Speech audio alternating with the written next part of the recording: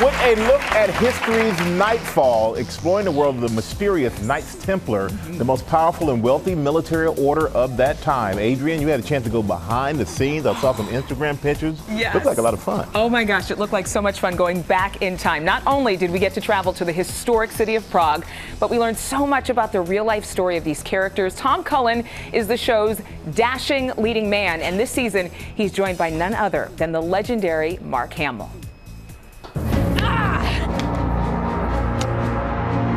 Getting there. Yes, that's me trying to sword fight on what looks like the streets of 14th century France. I disarmed you! And no, I don't know what I'm doing. And that really looks like I'm winning here.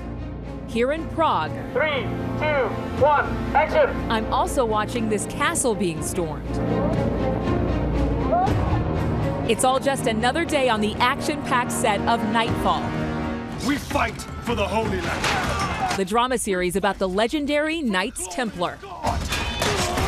The star, Tom Cullen, plays Landry, a morally ambiguous knight in season one. I have brought great shame upon our house. And I will take any steps that you would ask of me to right those wrongs. This season is very much about Landry rediscovering who he is and kind of putting him back on track. And the journey isn't that easy. On that journey with him, a new co star, the one and only Mark Hamill. Brother Landry speaks with a penitent heart. Yet I remain fixed in my doubt. What can you tell us about your character?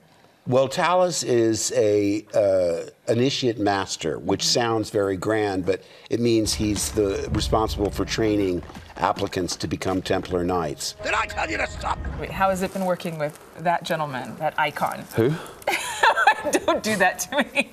I was obsessed with Star Wars. And so to get to meet him and work with him is just dream come true.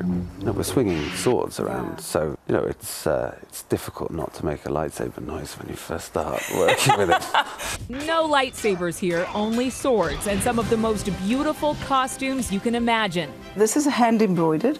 I have to say, it feels amazing to be dressed like a queen.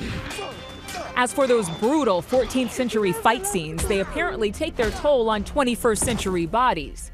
How much energy is it taking for you to do this? Well- this is a workout. It is.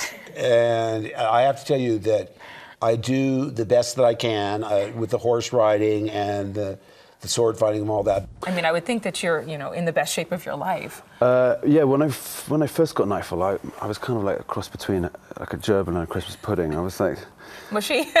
yeah, you know, this is soft.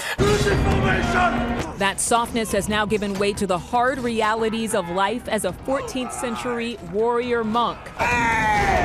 The cast couldn't be more thrilled. with these wonderful sets and, and uh, the, the great cast and uh, the, these stories that they've given us. It's, it's, you know, it's like pinch me. I just can't believe it's, it's still happening for me, and I'm re- enjoying every minute of it. You're dead. We got you. You had nothing. If you love season one, you're going to look so forward to season two, which begins next Monday. And Mark Hamill will be here live in our studio on Friday to talk more about Knightfall. Well, hey there, GMA fans. Robin Roberts here. Thanks for checking out our YouTube channel. Lots of great stuff here. So go on, click the subscribe button right over right over here to get more of awesome videos and content from GMA every day, anytime. We thank you for watching, and we'll see you in the morning on GMA.